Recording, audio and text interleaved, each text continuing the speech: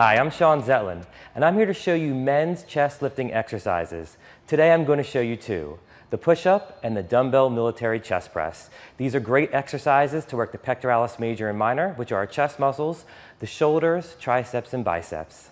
Okay guys, so we're gonna start with the push-up first.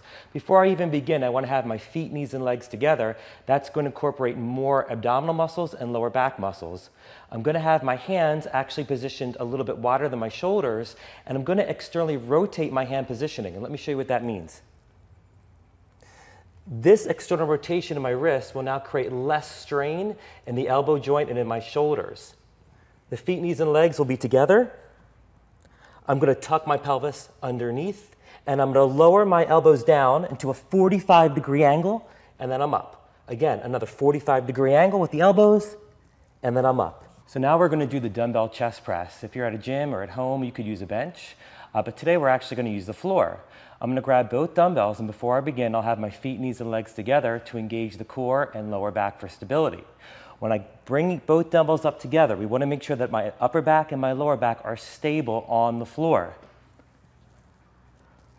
We're going to bring both dumbbells down simultaneously, keeping them controlled, keeping the elbows bent at 90 degrees, and then pushing up simultaneously together.